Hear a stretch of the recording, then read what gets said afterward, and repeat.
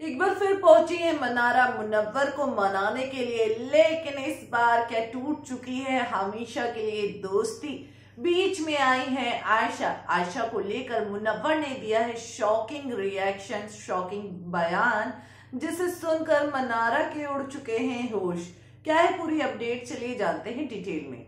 Hello दोस्तों, मैं हूँ कोमल और आप अपना चैनल देख रहे हैं फीफा फूस वेल जैसा कि हमने देखा कि बिग बॉस के घर में क्रिसमस से ही मुनव्वर और मनारा के बीच में काफ़ी झगड़े हुए हैं, काफ़ी इंटेंस झगड़े हुए हैं, जिसके बाद एक प्रोमो आउट हुआ जहाँ हमने देखा कि भाई मुनवर से मनारा वापस से बात करने गई और ये कहती हुई नज़र आई कि देखो मुझे कोई दिक्कत नहीं है, आपसे मुझे कोई प्रॉब्लम नहीं है, मुझे उस लड़की से प्रॉब्लम है और आप उसको डिफेंड कर रहे थे, मुझे वो चीज़ें पसंद नहीं आई।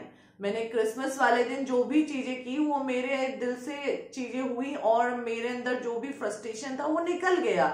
लेकिन आपने उसे डिफेंड करने के लिए मेरे से लड़ाई की। तो इसके बाद यहाँ पर मुनव्वर भी बोलते हुए नज़र आए कि, भाई, ऐसा है, तुम, उसके चक्कर में मुझे नहीं तुम सुनाओगी और मुझे उसको डिफेंड करना होगा। अगर वो गलत नहीं है और सब उसके ऊपर चढ़ेंगे तो मैं तो डिफेंड करूँगा, मैं आगे भी आयशा को डिफेंड करूँगा। तो यहाँ पर मनारा बोल देती है, फिर तो हमारी निभेगी ही नहीं। तो ऐसे में अब इन सभी बातों से साफ़ है कि मनारा और मुनव्वर की दोस्ती पूरी तरीके से टूट गई है, जहाँ मुनव्वर भी मनारा की चीज़ों को लेकर बहुत क्लियर हो चुके हैं। वही मनारा भी मुनव्वर की चीज़ों को लेकर बहुत क्लियर हो चुकी हैं। तो दोनों की दोस्ती वाकई में हमेशा के लिए टूट गई है और वही मनारा पहले लड़ती हैं, फिर मनाने जाती हैं।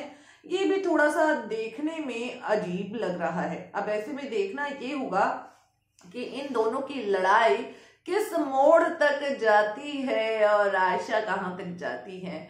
ये देखना दिलचस्प होगा। फ़िलहाल बिग बॉस से रिलेटेड अपडेट्स को जानने के लिए चैनल से जुड़े रहें। चैनल को सब्सक्राइब करना बिल्कुल भी ना भूलें।